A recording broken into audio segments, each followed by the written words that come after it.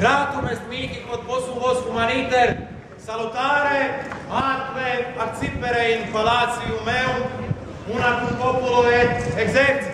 Cesar!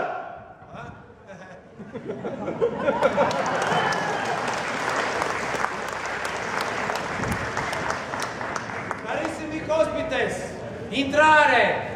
porta palazzi aperta!